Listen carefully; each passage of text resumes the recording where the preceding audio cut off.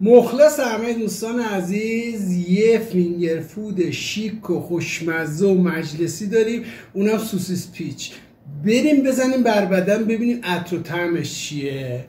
فقط نگاه کن ببین چه دلبری می‌کنه. نگاه کن نگاه کن. به به به به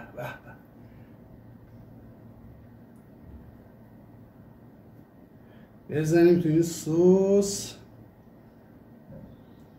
فقط با دست حال میده. بسم الله.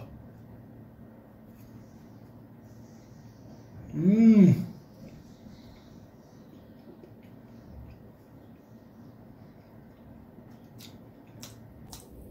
عالی. اینقدر نگید سوسیس کالباس برای کوچولو بده.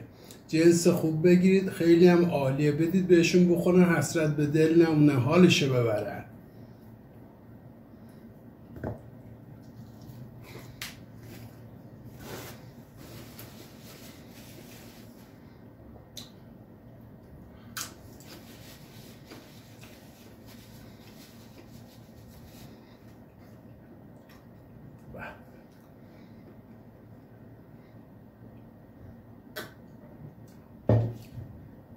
خدایش واقعا عالی عالی. و جای تک تکتون سر همین میز خالی خالی. اگرم دوست دارید برید مهربان رو دنبال کن طرز تهیهش رو ببینید یاران مهربان سلام. آماده اید ببینیم این کوچولوهای تو دل برو رو چجوری باید درست کنیم؟ خمیر هزارلا داریم و سوسیس انگشتی. برای شروع پوسته روی این سوسیسای کوچولو موچولومون رو باید بکنیم. به این صورت. حالا خمیر هزارلا رو که زمان دادیم و توی یخچال از حالت انجماد خارج و نرم شده روی تخته کار پهن می‌کنیم.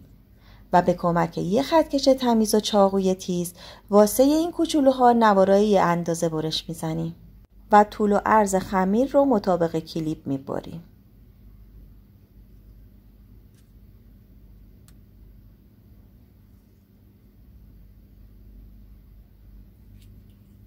حالا یه برش از خمیر هزارلا رو بر می داریم و به صورت آزاد می پیچیم دور سوسیس انگشتی.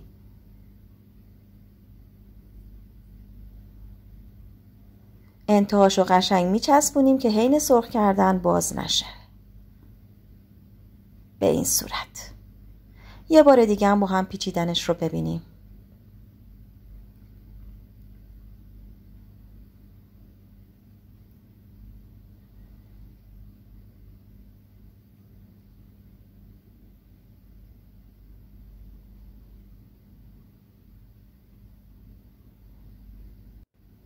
و به همین راحتی کلش آماده می‌کنیم و بریم سر گاز واسه سرخ کردنشون. داخل یه قابلمه گود و کاملا داغ روغن میریزیم و همین که به دمای مناسب رسید سوسیسای خمیر پیچ شده رو می‌ذاریم توی روغن تا با شعله متوسط و یک نواخ سرخ بشه. از اونجایی که این خمیر حین پخ لایه هاش باز میشه و سوسیس هم حین سرخ شدن پف می‌کنه. بهتر انتهاش رو قشنگ روی هم بکشید و بچسبونید که حین سرخ شدن باز نشه.